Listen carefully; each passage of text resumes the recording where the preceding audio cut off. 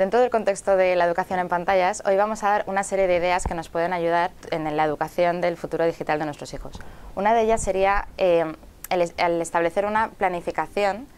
eh, de cómo queremos que eh, nuestros hijos vayan introduciéndose en el uso de las tecnologías. Esto sería bueno que los padres se pusieran de acuerdo y se sentaran, igual que hablamos de qué nos gustaría que fueran de mayor o cómo nos gustaría inculcarles una serie de valores, podemos planificar también esto, pues más o menos a qué edad em,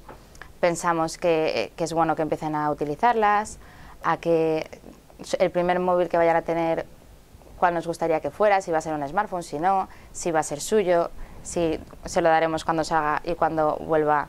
eh, nos lo tiene que dar, etcétera. Esto nos puede servir en un futuro para cuando nos encontramos ya con esas situaciones, que sepamos de antemano la idea que tenemos, aunque luego no hagamos exactamente lo que hayamos planeado, pero ya tenemos una idea de, lo que queremos hacer en ese tipo de, situaciones. Otra idea muy importante es la de que em, tenemos que hacer un ejercicio mental de asumir la educación en las tecnologías dentro de lo que es la educación integral de nuestros hijos. Es decir, igual que les inculcamos el orden, igual que les inculcamos el que tengan autoestima, igual que les inculcamos eh, la empatía, les tenemos que inculcar también toda esa serie de, valores para que luego la sepan utilizar cuando tengan en sus manos ciertas tecnologías como puede ser un smartphone. A raíz de esto también es, es muy importante el tema del ejemplo. A veces eh, pensamos que los niños, cuando son muy pequeñitos, no se dan cuenta del uso que hacemos nosotros de los móviles. Lo utilizamos para hablar con amigos, lo utilizamos para trabajar, pero los niños en realidad lo que están viendo es que estamos con el móvil todo el día en la mano.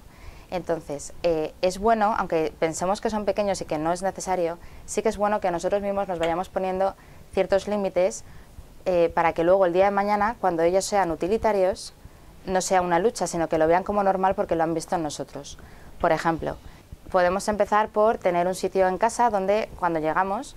dejamos los móviles y no los cogemos a no ser que suene, a no ser que nos estén llamando o que estemos esperando un email de trabajo o una llamada importante, pero que no nos vean que cada vez que suena el móvil, si lo tenemos cerca, inconscientemente lo vamos a coger y, vamos a, ver quién es o vamos a contestar.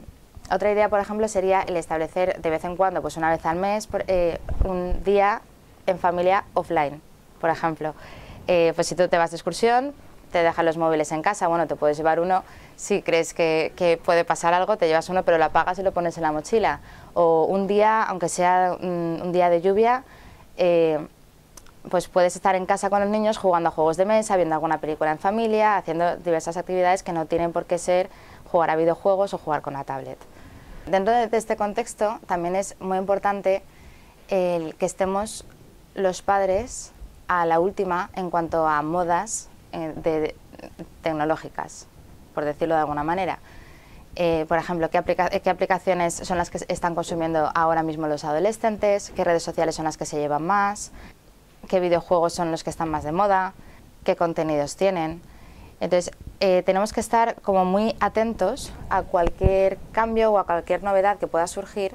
porque en un momento determinado ellos, cuando empiezan a conocer todo este mundo, mm, van a tender a preguntarnos. Si la primera vez que nos preguntan o la segunda vez que nos preguntan no sabemos contestarles porque no sabemos de qué están hablando, la próxima vez lo más normal es que no nos pregunten a nosotros. Pregunten a un amigo o pregunten a Google. Y ahí ya perdemos, digamos, ese,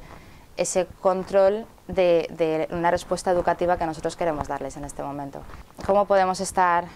em, actualizados en este sentido? Pues hay muchísima información en Internet y yo, por ejemplo, recomendaría algunas revistas digitales como pueden ser Contraste y Empantallados, que se pueden encontrar en Internet y que nos dan mucha información, tienen artículos interesantísimos y muchas ideas que nos pueden ser útiles. No tenemos que olvidar que los padres somos los primeros y los principales influencers de nuestros hijos. Muchas gracias y espero que estas ideas os sean de utilidad.